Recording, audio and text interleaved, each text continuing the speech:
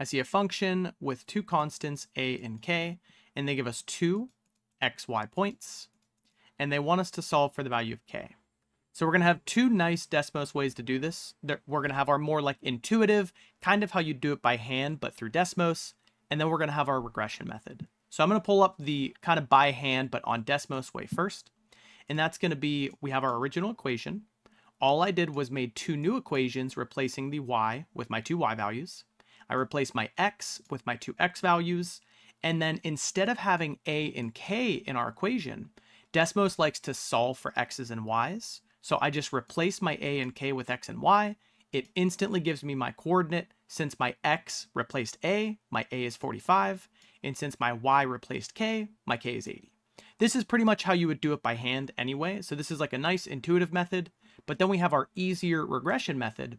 And all that is, is you type in your original equation.